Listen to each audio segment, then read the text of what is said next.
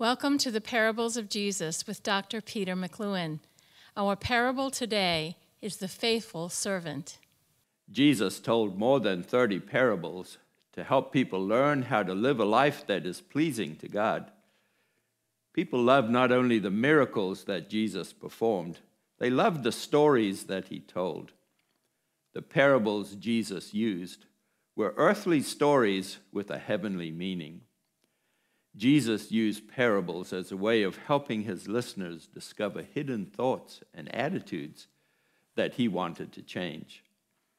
In last week's parable, the reluctant neighbor, Jesus taught his disciples what to expect from God when they talked to him. Jesus went on to share two stories. In one, he spoke about a friend who asked a neighbor for help. At first, the neighbor refused to help, but the man shamed him into giving him food for his late arriving guest. Now, God is not at all like the man's neighbor. For example, God never sleeps, He's never bothered by our requests, He will never tell you to go away, and the door to heaven is never closed. The first story is what not to expect from God when we talk to Him. The second story tells us what we need to know about the heart of God and what to expect from Him when we talk to Him.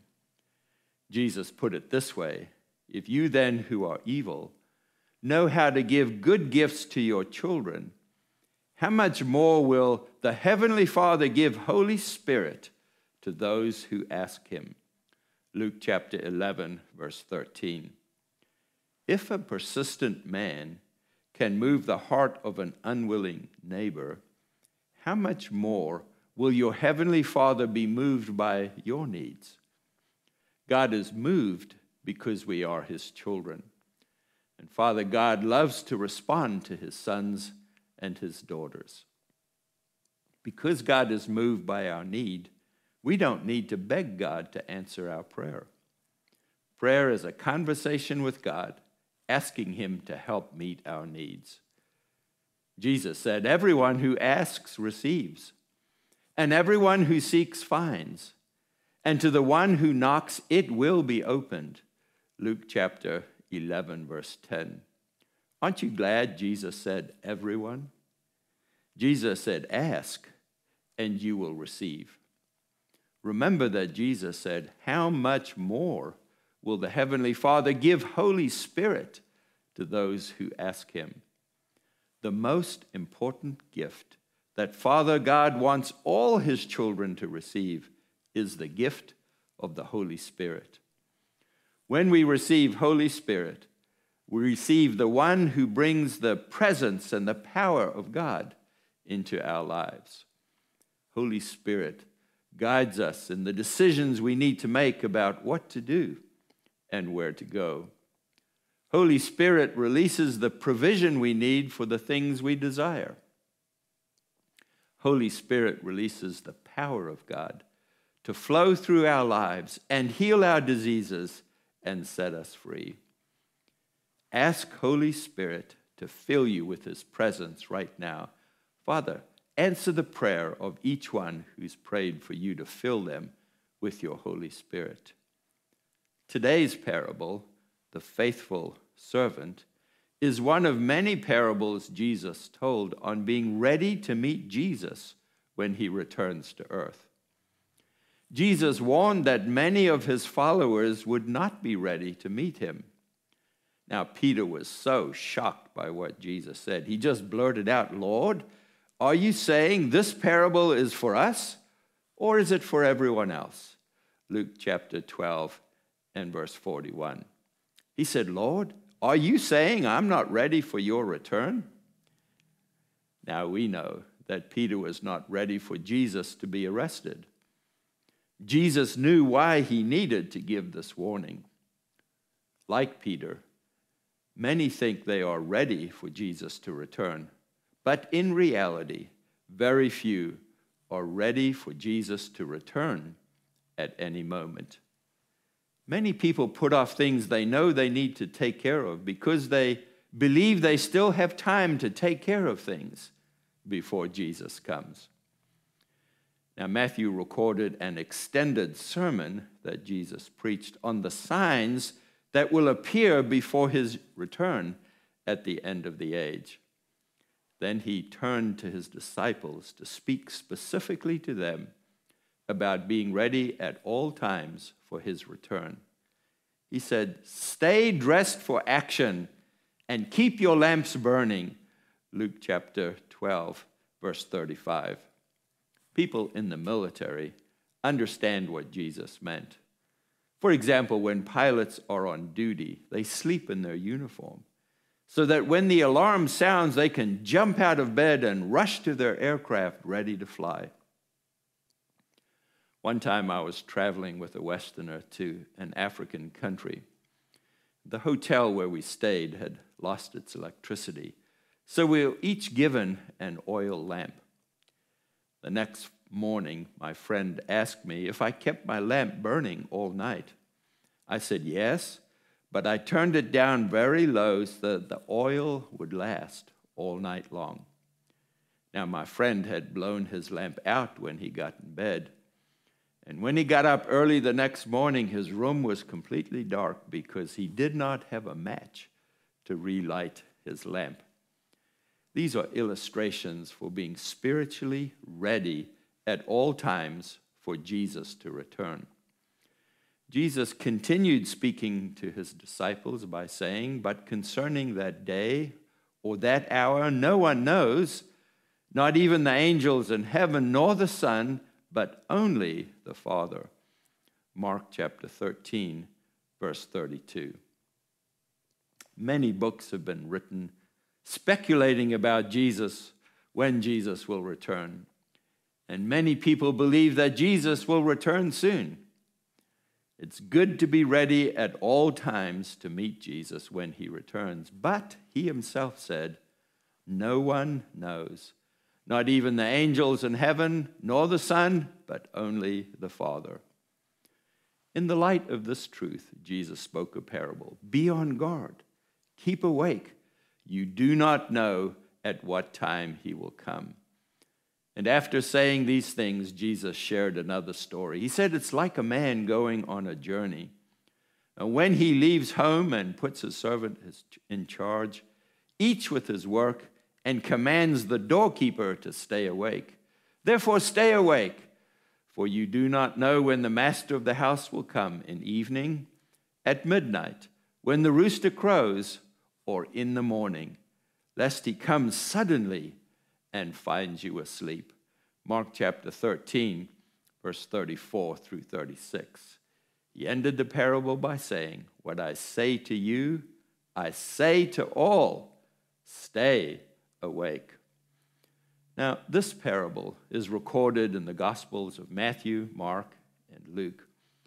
In these accounts, two words are frequently used guard and alert, or stay awake. It's the same word. To be on guard means to see with our spiritual eyes and to be aware of what the Lord is doing. We are to guard against the things which rob us from experiencing God's love. We are to guard against the things that keep us from expressing God's love to the people around us. We're to guard against attitudes that keep us from believing that we have nothing to offer to make our world a better place. To be awake in the natural means to be sleepless. In the spiritual realm, it means to be awake to spiritual danger or spiritual opportunities. Early one morning, the Lord called me by name and asked me the question Peter, are you awake? After finding no one at my door or around the house, I realized it was Jesus talking to me and asking me a spiritual question. Jesus knew I had an important assignment at 4 a.m. that very morning. He also knew that I needed to get up one hour earlier than I had planned to because he knew I was going to have a problem to solve that I didn't even know that I was going to face. I had enough time. Jesus is not saying we should never sleep, But even when we sleep, we need to be ready to get up at a moment's notice. Jesus said he could return during any of the watches of the night. In the parable, he spoke about the four watches of the night that were kept by soldiers in those days. The evening watch was from 6 p.m. to 9 p.m. The midnight watch was from 9 p.m. to midnight. The rooster crowing was the watch between midnight and 3 a.m.